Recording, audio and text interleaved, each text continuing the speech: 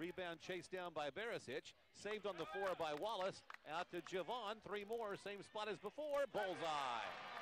Six to two. Wiley with the lead. Quickly up the four. Jackson. Jhivvan stops. Pulls up for a long one. It's good. It's a two. His foot was on the line.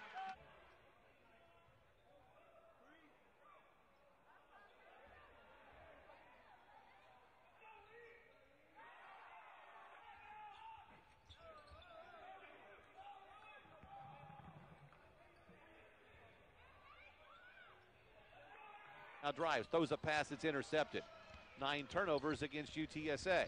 All the way to the goal goes Cheek, rejected from behind, and that goes out of bounds off of UTSA.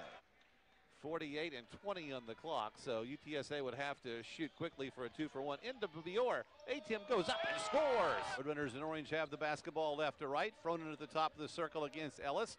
Comes in the lane to, ja- to Wallace or Jackson underneath the Barisic, and he's got a layup within six, 41 35. UTSA trying to get that separation. Cross court pass to Wallace. He'll take it all the way to goal. Slam dunk. Say it's just a rebounding foul. Jackson to Frohnen at the top of the circle.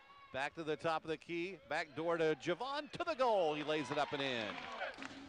Cheek with a couple of dribbles. Spinning left baseline. Has it deflected by Barisic into the hands of Czumbel. Up the floor. Jackson. Jhivvan to the goal. Layup. Seven minutes gone by, and uh, Jhivvan's trapped in the corner, but he's able to get it out to Wallace and now to Bior. Bior will take it all the way to the goal. High off the glass for him. It goes in. 12 11 to play. 49 46. UTSA by three. Cheek with the basketball. Reed is taken away by Wallace. Keaton's going to take it all the way to the goal. Slam dunk. Grubs against Helms.